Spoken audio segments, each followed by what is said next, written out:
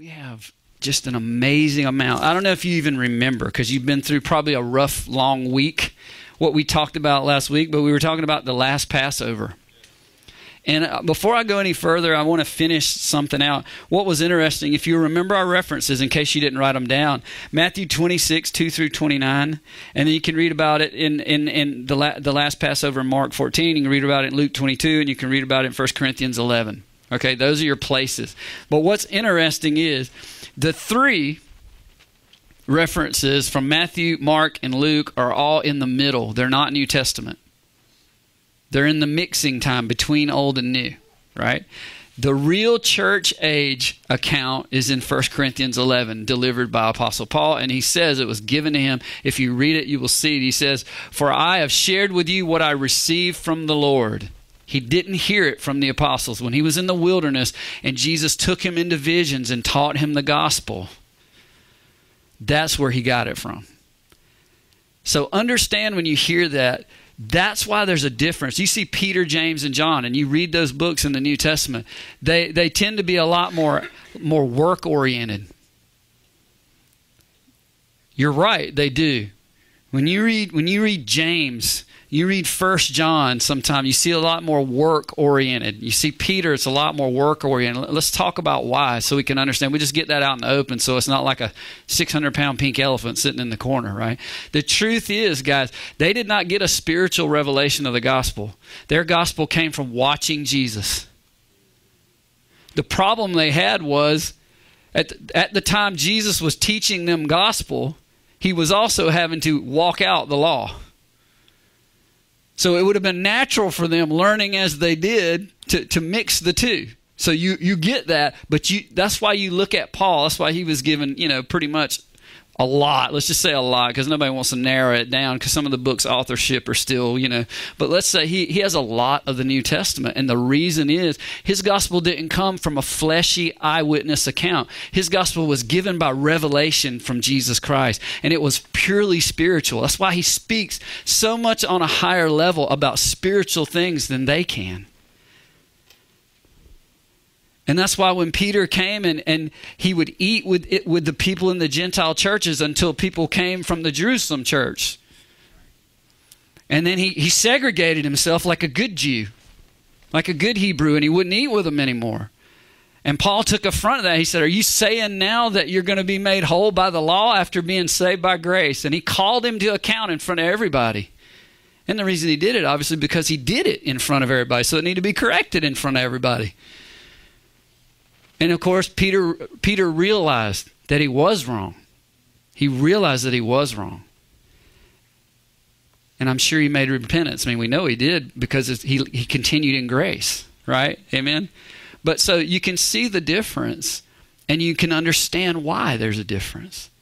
Guys, we're not perfect. Sometimes we read the Bible, we think the apostles were perfect. They weren't. They were people like you, like me.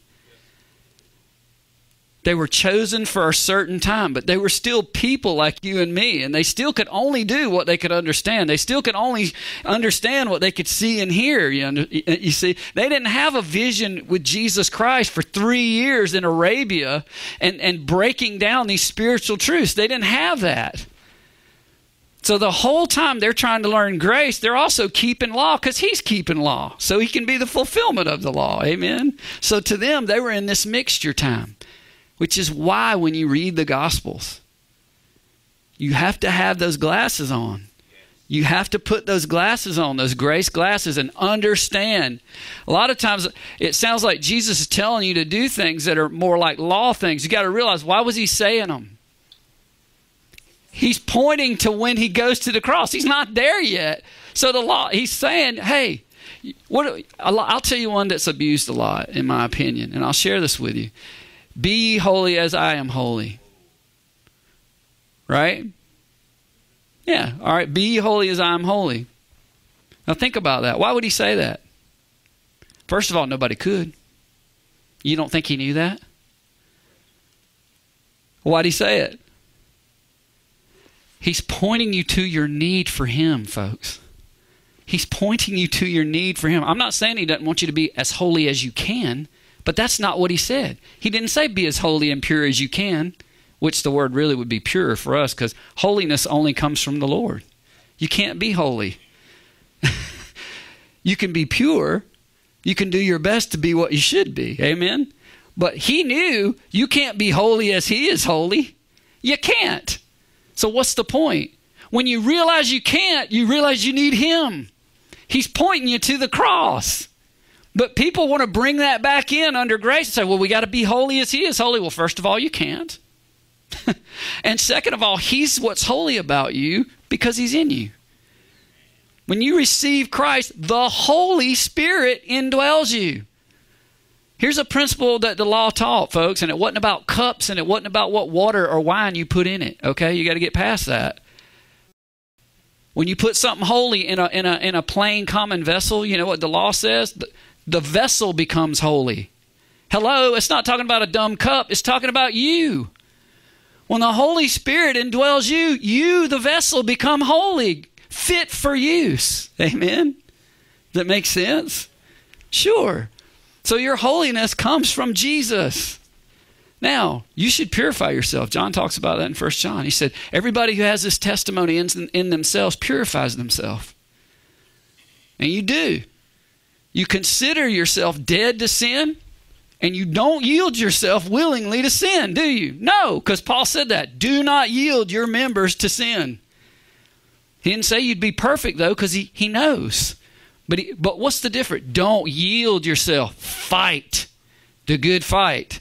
Work out your salvation. Amen?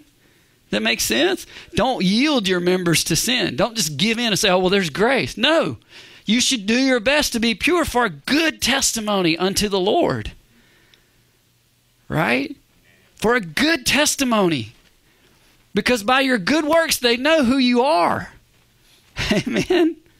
They know what Jesus is about when they see what his people are about. If his people match up as best they can to the way he looks. If he's the image of God, you're the image of him. If he's the image of God, you're the image of him. You know, there's at least three places in the Bible, right, where it says for Jesus is the sole expression of the glory of God. The effulgence, it says, is the word in King James of the glory of God, right? And then he says, and guess what? You're the image of me because you're my body. Right? He was the light. Now he's indwelled you and you're the light. So I just wanted to make sure we, we, we notice that. So when we see the first Corinthians passage, we're getting the spiritual guy telling us what he got. Amen. So you get the three eyewitness accounts, so to speak, or secondhand eyewitness accounts. You understand what I'm saying? They just saw this. Some of them ate it, right? Paul never saw Jesus on Passover night, the last Passover. He wasn't there. He wasn't, he, he, he wasn't even grown. He didn't see it. So for him to say in 1 Corinthians 11, what I've shared with you is what I received directly from the Lord. He's not telling you he saw it because he was sitting there. He's telling you he saw it because when he was Arabia, the Lord took him up in visions and showed him what happened and explained why it happened. Now think about this. The other guys, they didn't get that kind of download. They saw it, they experienced it, and it does say that Jesus opened their minds to the scripture, but you don't have any indication that he went over every bit in peace and gave them the spiritual knowledge, for he had not even ascended yet when that happened not permanently. You understand? Right? But here's Apostle Paul who gets it all from Jesus by the Holy Spirit, spiritually. He gets the understanding behind it. He gets the understanding behind it. Amen. So it's different. So it's neat that we have that one included. That's the one most churches model when they have Lord's Supper.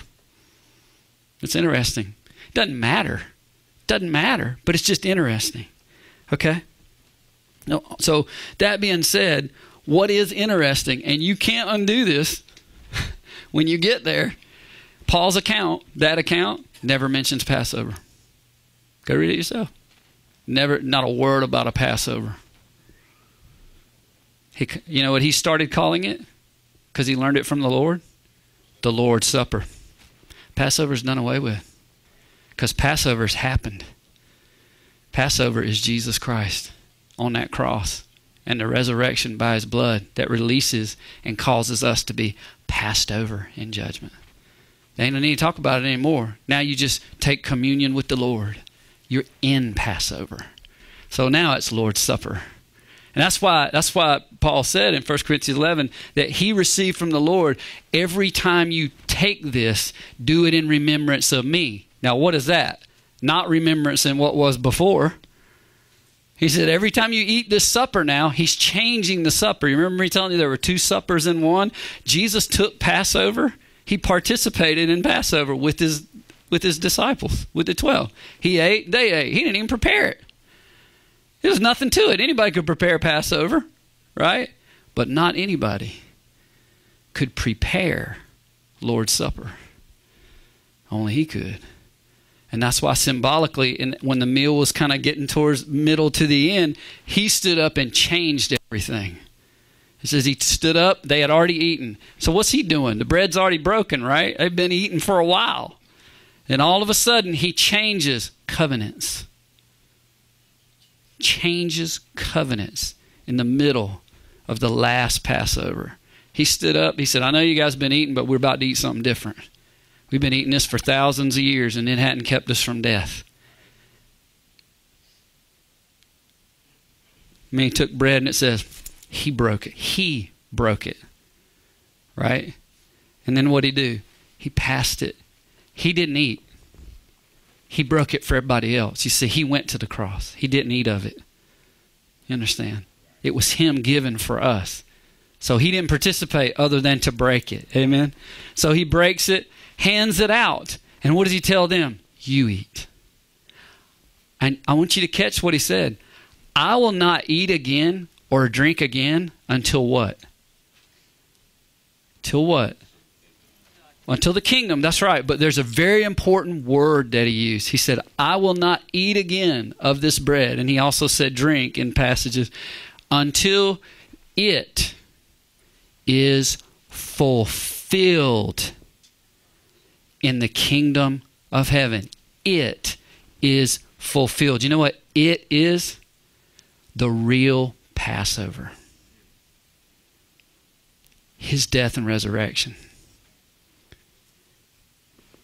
He knew that he was the Passover lamb. He said, I'll not eat or drink of this again until it is fulfilled. You know what that means when something's fulfilled, right? How many of you keep paying bills after you've fulfilled them? You keep going. Y'all keep sending money, you get a statement says, "Oh, you're fulfilled, you're done." You don't do it, do you? You don't even talk about that bill anymore, do you? No, you go on to what you got that's new. When Jesus Christ looks at you and says, When I eat next time, it's going to be fulfilled, you don't talk about that anymore. You move over into Lord's Supper and you start eating the new bread and drinking the new wine in communion with his new life. Amen. Does that make sense? It's just as obvious as anything, isn't it? He changed it right in the middle. By the way, he did eat and drink when he, after he's resurrected, just so you know. Remember what he said? They, they didn't believe it was him. He said, Do you have any food? He ate some fish and he drank something too. Yeah. And here's the other thing you got to understand.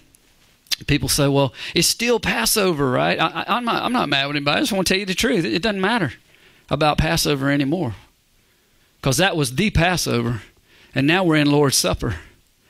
How do you know? Well, if it was still Passover, then when he said, Every time you break this bread, do it in remembrance of me, it would have been only on Passover, right? That would have been the time because he said every time every time you do this, do it in remembrance of me. So if it was still Passover, it would be once a year on Passover, right? Well, just what? Three days later, Jesus broke bread again. Because on the road to Emmaus, they didn't recognize him and they begged him to stay at the inn with them. You know the story. And he kept telling them, he was sharing, shouldn't, he said, shouldn't, the, shouldn't Messiah have had to die like it said about him in the scriptures, you know, right? And they didn't recognize him, even though he was giving them all this good information. All of a sudden they sat down to eat and he took the bread and broke it. And how'd they notice him? They recognized him in the breaking of bread.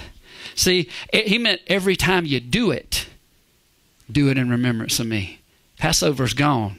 You're in you're in Christ now. Every time you eat, every time you drink, do it in remembrance of him. Why? Because the life you live comes from him now. You owe everything. It's not once a year. It's not once a month. I'm not saying you have to go through this ceremonial thing, and he didn't say it either. You know what he said? Every time you do it, remember me. Remember my sacrifice. Because I'm your Passover. See, and by the way, he was already doing this, just so you know. Breaking of bread has nothing to do with that Passover because he broke bread to feed the 5,000. See, the breaking of bread was something that you can only associate with Jesus Christ. You understand that? This is new. It's different. It's unique. It's fresh. It didn't exist before. It's not something from the old just reshaped and brought into the new. This is so unique. It's so new. It's from heaven. The other was from the earth. Amen. That celebratory Passover all those years, what did that do? Yeah, that's all it did. It was practice. And what do you do when you practice something? What do they say? If you, I remember I used to play tennis. They said, "Hey, if you really want to be good, you hit that same shot so many times you don't have to think about it anymore." That inside-out shot, I always had trouble with because you bend the ball, you hit spin on it, and it bends out and lands right on the corner.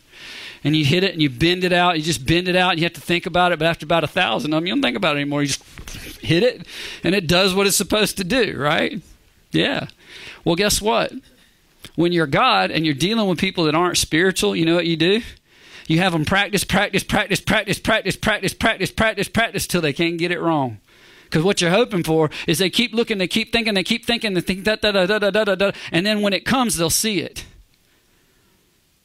What was so sad about it is the leaders didn't see it, but the common people did. the common people lined the streets of Jerusalem on Palm Sunday they knew he was Messiah. The only people denying it were the leaders. Right? What did he warn us about? The leaven of the leaders. the leaven that says he can't be Christ. We got to do it this way. Right? You know what he said? Beware the leaven of the Pharisees and the Sadducees. What was their leaven? The hypocrisy that Christ is standing right in front of you and you think it has to be something else. I, am not, I'm not making that up. The Bible says there are two accounts that say what the leaven was in, in the Gospels. Out of the four, there are two. One time it says that the leaven of the Pharisees and the Sadducees was their doctrine, the other time it says it was their hypocrisy. Okay? Now, we'll, we'll, we'll transition, but I want to give you one more thing about bread. I'm going to give you one more thing about bread. I want you to just think about this for a minute. And the reason I would do this because I've noticed now, had an opportunity to go to a place where they had a lot of Christian books, and it really shocked me and it broke my heart how many Christian books are taking people back to the law. And they're not necessarily taking them back to the law per se for salvation, but what they say is you got Jesus and now you want to keep the law to get blessed. Right? And I feel sorry for my Lord because it's like he gave his life and people want to just take that flippantly and then they think they need to add to what he's done to get some dumb blessing here on the earth. And they really just, without realizing it, they don't know they're just kind of doing like that, just slapping him in the face, you know, because he provided the ultimate sacrifice. He is the Passover that sets free. And people take that and then they think they need to add to it. You know, it's just sad. It's sad. And um, so I wanted to share this with you, and this will make sense to you when you think about it, okay? In Exodus 12, we should probably go there. Let's look at it. Exodus 12. Exodus 12. Because Moses, Moses is speaking. Well, actually, first Exodus 12, Exodus 12, 1, the Lord is speaking to Moses and Aaron. And it's funny because you get his account and then they turn around and exactly what he told them, they say to the people. So you get their account. So you get God's account to Aaron and Moses, then they turn around and Moses says the same thing back to the people. You get it twice. All right? But I, I would like for you to see just something here. Um,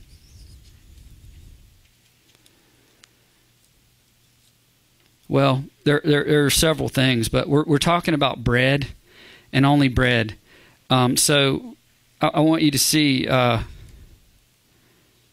look at verse 15, Exodus 12, 15.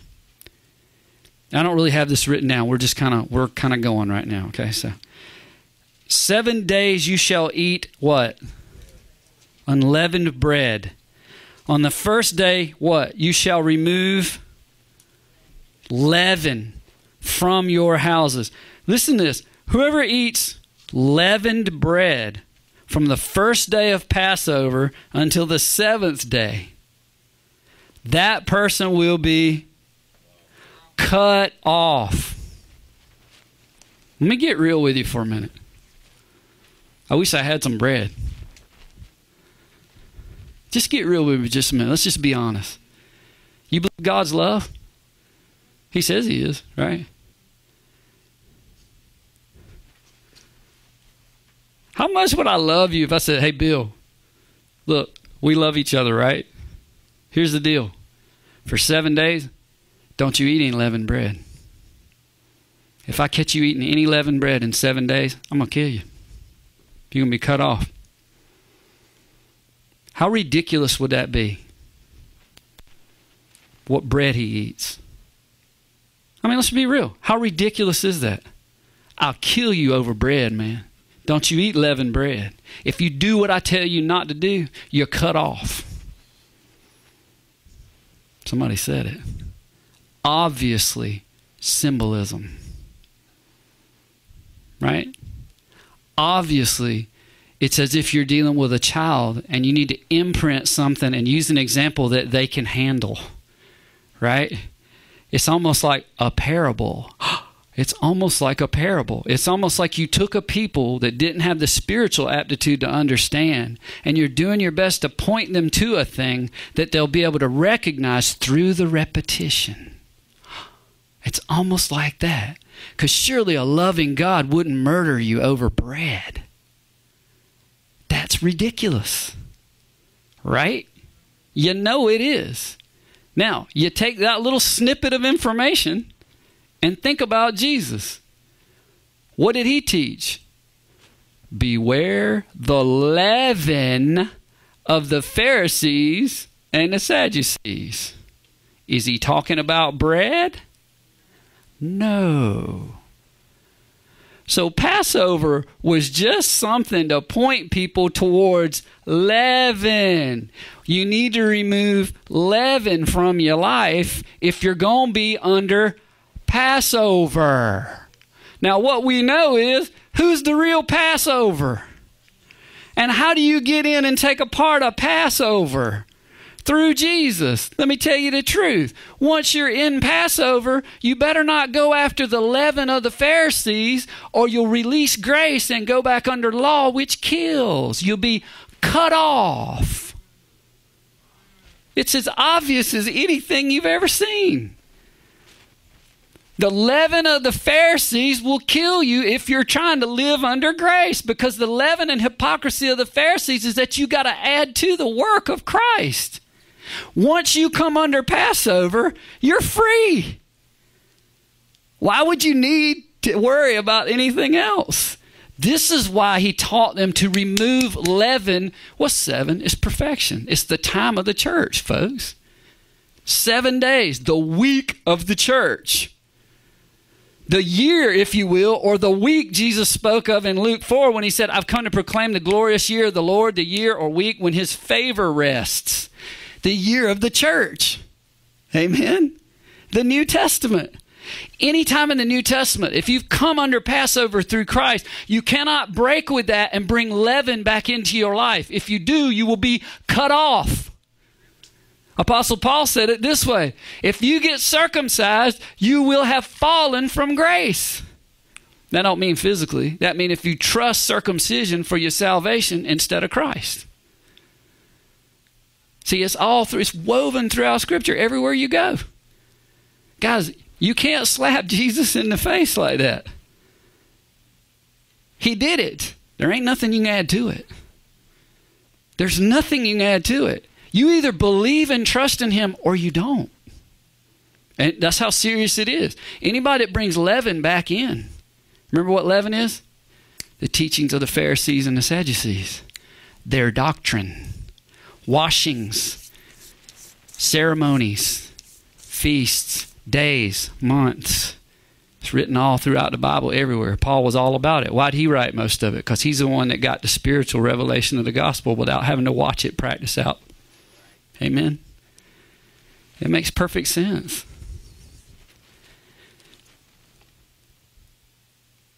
Seven days you shall eat unleavened bread. I mean, can literally, can you imagine?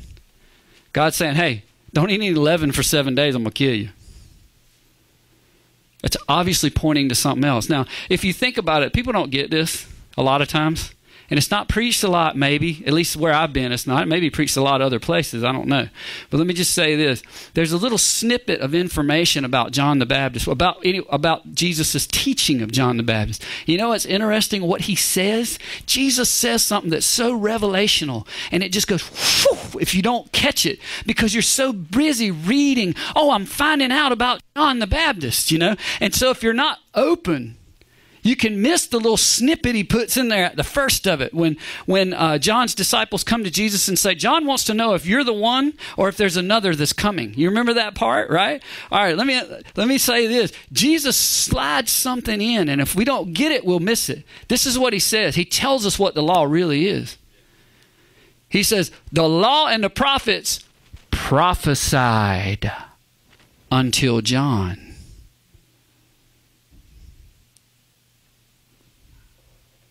You know what the law was? It's nothing more than a prophecy.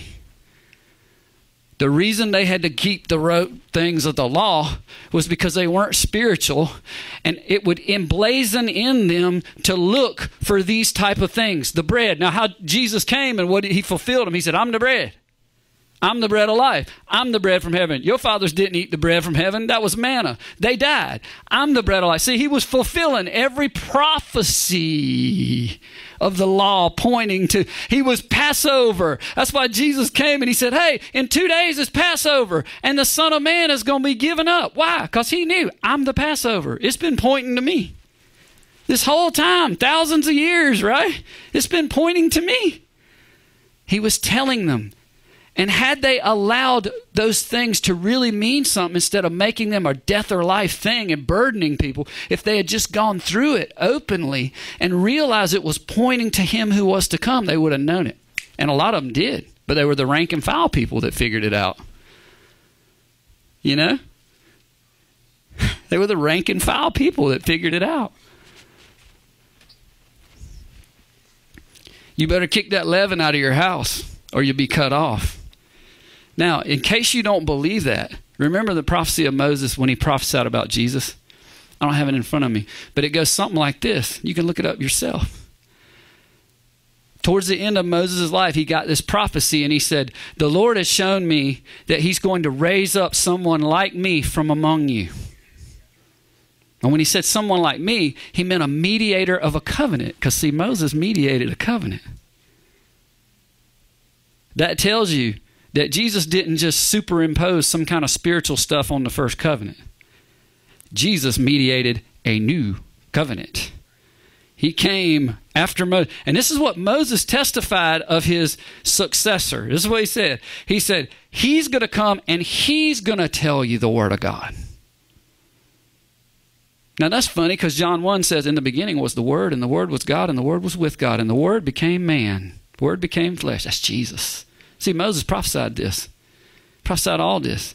And so every word Jesus spoke was greater than that which had been spoken before. Because you know what Moses' prophecy was? And he's going to tell you what God wants you to do. And you guys, if you don't believe that, if you don't think that everybody knew that and they had been taught that, then just think about the woman at the well.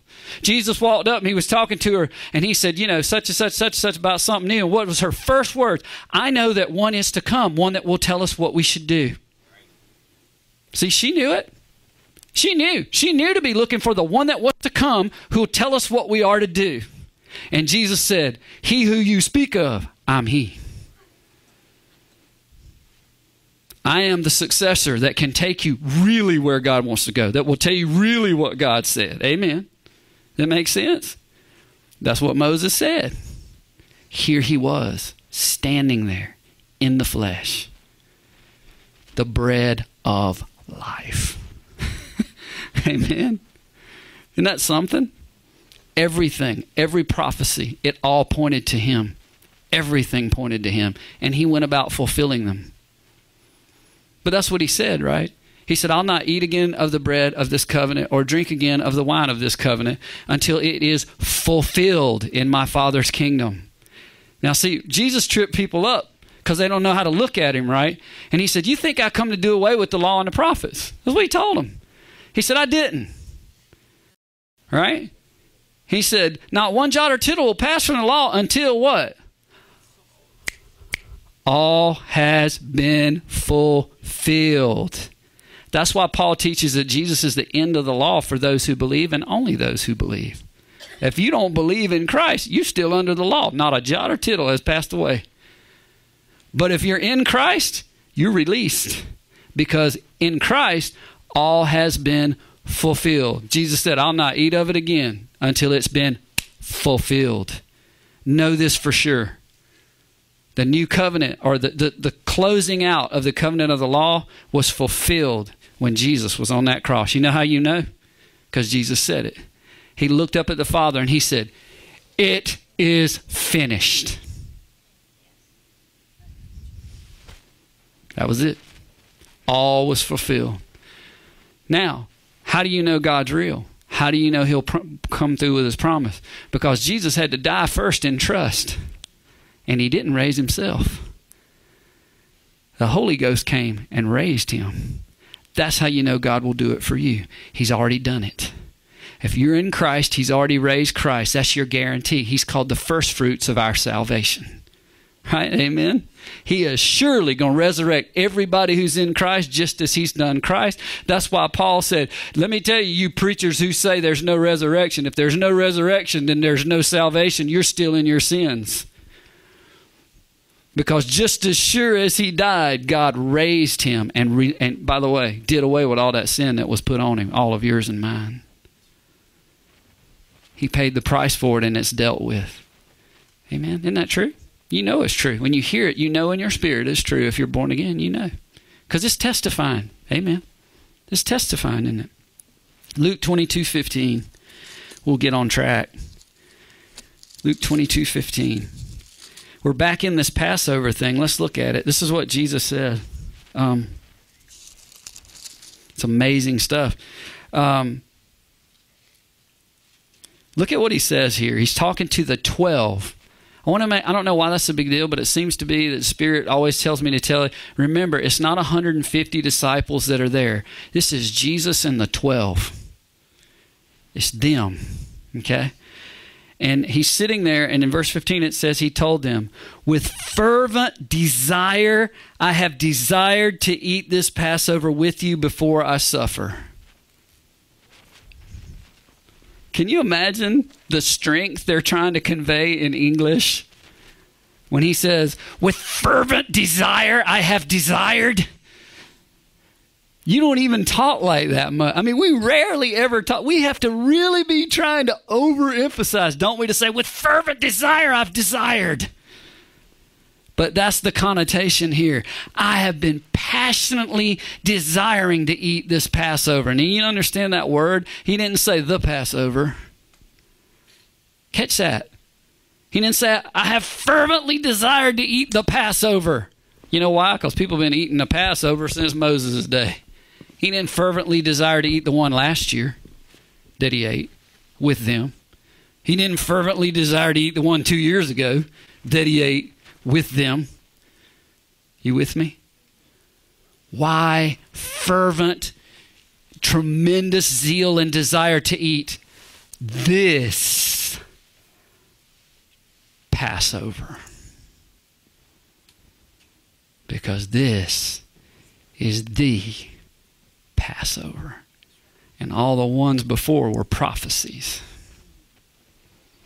Because look at what he says I have fervently desired to eat this Passover with you before I suffer, because I'm the Lamb of God who gives his life for the sins of the world. I am Passover. And this is what it's been pointing to all these years. You see where he was? I've been fervently waiting to get to this one. Because after this one, is Lord's Supper. After this one, everybody who's in me is set free from the written commands. Amen. Isn't that amazing? No doubt everything's changing. Can you hear that? No doubt everything's changing. And that's when he says, For I say to you, I will no longer eat of it. I'll no longer eat of these Passover deals. That's it. I'm not eating the bread and the wine anymore until it's fulfilled. You notice that's what he said until it is fulfilled in the kingdom of God. When something's fulfilled, folks, you don't keep billing it every year. It's done. And when you hear a man who's the Son of God, who's the Lamb of the world, and he goes to the cross and he said, It is finished, that's the fulfillment. Amen. Can you hear it? I can. Then he took a cup and gave thanks. He said, Take this, divide it among yourselves. He didn't take any for himself. Because this is his blood poured out for us. He didn't need to drink it. this is his body broken for us. He didn't need to eat it. Amen. Yep. Divide it among yourselves. For I say to you, I will not drink of the fruit of the vine. What? Until the kingdom of God comes. Now I want to ask you, do you remember? Do you remember what, what was so unique about John the Baptist? Just think about it. Let the Spirit move you right now, the Holy Spirit. Not any Spirit, the Holy Spirit. Amen. What was so unique about John the Baptist? What was his what was his preaching, you know? You remember? Repent for the kingdom of God is at hand. The kingdom of God is at hand. You know how much time. Repent. You can get in on the kingdom of God. Repent. The kingdom of God is at hand. And John preached that until he was beheaded. And Jesus took over. That day he was beheaded, Jesus started preaching, Repent, for the kingdom of God is at hand. And here's Jesus saying, This Passover is about to be fulfilled in the kingdom of God. The kingdom of God is about to be at hand. Amen new birth in the kingdom of God is now at hand for anybody who believes. Amen. The blessing of God the Father Almighty is on the people who are in his kingdom. They're seated at his table. Amen. Isn't this great? This is, this is amazing. In the Spirit, they're seated already at his table. Amen. Partakers of the, the rich word of God who came and walked and showed us what it looked like. Jesus himself, the Word. You know? Amen. So, this is about all we need to talk about. Let's finish it up. He took bread, gave thanks, and what? Broke it. Broke it.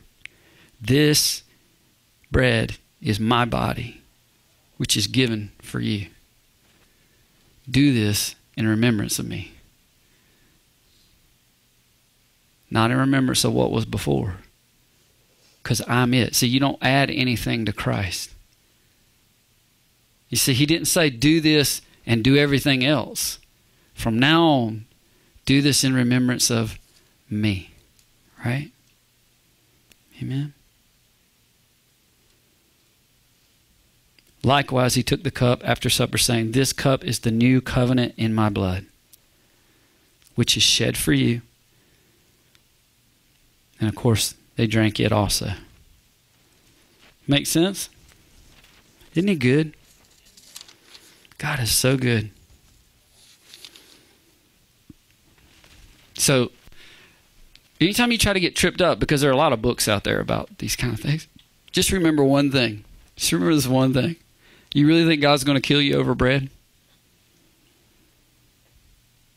If you ever get that low that you feel like it's that important to take physical leaven or whatever out of your, I, want, I just want you to understand something.